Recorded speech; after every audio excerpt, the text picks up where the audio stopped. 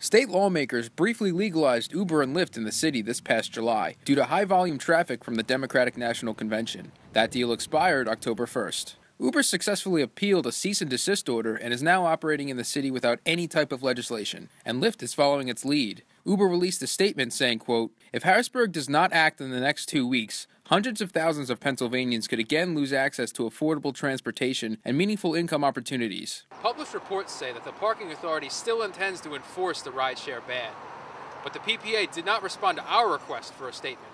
Despite the risks, Uber driver Nassim Sasso isn't fazed. I'm not necessarily afraid of getting caught because, um, you know, it's.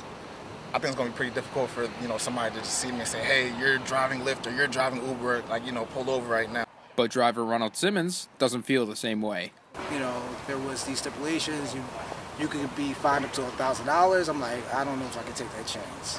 Unlike drivers, users of ride sharing services don't face any legal penalties, which is good news for the many Temple students who use Uber and Lyft. It's way more convenient. It comes to where you want to be at, and they'll come pick you up and stuff. It's nice. The first time I took an Uber was down to uh, Chester for a soccer game, and it was like real convenient, real cheap, and everything. And like as a college student, that's probably the easiest way to get around if you're going somewhere off campus. Lawmakers in Harrisburg have committed to passing permanent rideshare legislation within the next week. We look forward to keeping you updated in the coming days. For Temple Update, I'm Brian Ziff.